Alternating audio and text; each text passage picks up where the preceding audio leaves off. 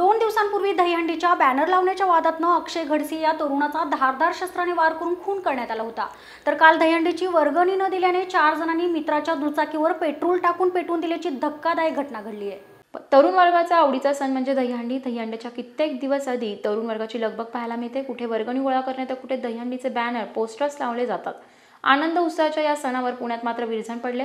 दोन दिवसापूर्वी पुण्यातील सिंहगड रोडवरील माणिकबाग परिसरात अक्षय खडकी या तरुणाचा परिसरात राहणाऱ्या पाच ते सहा तरुणांनी धारधार शस्त्राने वार करून खून केला आहे.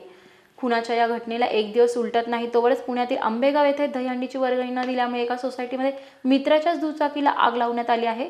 वर्गणी न दिल्याचा राग मनात धरून चार जणांनी दुचाकीवर पेट्रोल टाकून पेटवून दिली. या प्रकरणी प्रफुल्ल थोरात याने तक्रार दाखल केली. भारती पोलीस स्टेशनमध्ये हा गुन्हा दाखल करण्यात आला आहे. काल रोजी ज्या गाड्या जाळल्या सदरच्या गाड्या ह्या डी एस बॉईज ग्रुपच्या मुलांनी जाळल्या आहे त्याबाबत त्यांनी सखोल चौकशी केली असता व सदर मंडळाच्या अध्यक्षाला व इतर मुलांना ताब्यात घेऊन चौकशी केली असता त्यांनी सदर गुन्ह्याची कबुली दिली.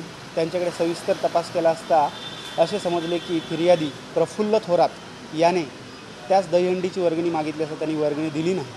याचा राग मनात धरून सदर मंडळाचे अध्यक्ष दत्ता शिंदे आणि इतर त्याचे साथीदार यांनी त्याचा त्याला भीती घालण्याचा किंवा त्रास देण्याच्या उद्देशाने एक कट रचून फिर्यादीचे प्रथमेश अपार्टमेंट आंबेगाव बुद्रुक येथील इमारतीखाली लावलेले वाहनं जाळण्याचा कट रचून त्यांनी सदरची वाहनं पेट्रोल टाकून जाळलेली आहे.